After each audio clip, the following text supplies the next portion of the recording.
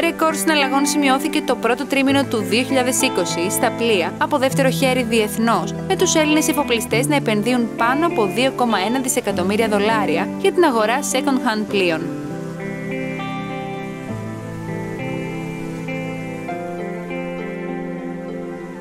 Από την αρχή της χρονιάς μέχρι και τις 28 Μαρτίου άλλαξαν χέρια συνολικά 538 πλοία, ενώ πέρυσι την ίδια περίοδο είχαν καταγραφεί μόλις 272 συναλλαγές.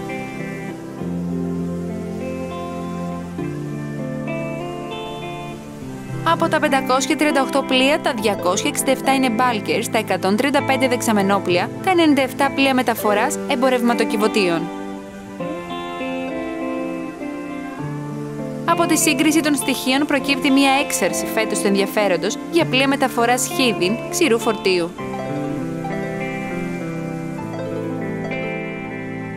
Η υψηλή ζήτηση για πλοία χίδιν ξηρού φορτίου στις αρχές του τρέχοντος έτους αντικατοπτρίζεται επίσης και στις αξίες των περιουσιακών στοιχείων που έχουν αυξηθεί σημαντικά.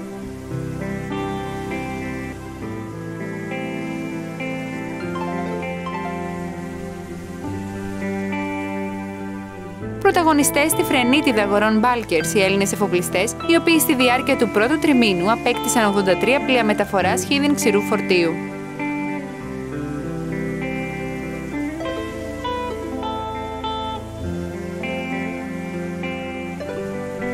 Σε όλες τις κατηγορίες πλοίων, οι Έλληνες αγόρασαν συνολικά 129 πλοία από ένα σύνολο παγκόσμιων συναλλαγών που αφορούσαν 538 πλοία.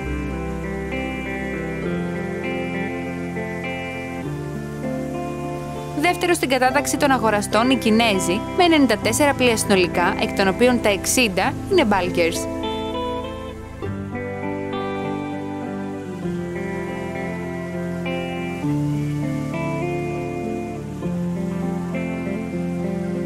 Οι Έλληνες επένδυσαν 2,1 δισεκατομμύρια δολάρια για αγορές πλοίων, με τους Κινέζους να ακολουθούν με 1,1 δισεκατομμύρια δολάρια.